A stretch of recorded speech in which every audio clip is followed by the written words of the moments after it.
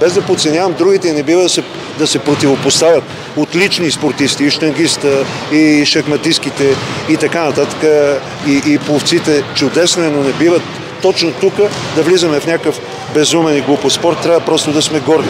Но трябва да оцениме, че най-големите посланници, действащи в момента на България и на спорта са Безенков и, и Григор Димитров. Преди такива бяха и Стевка Костадинова и Стоичков, имахме повече. Но тези са такива и това е нещо голямо.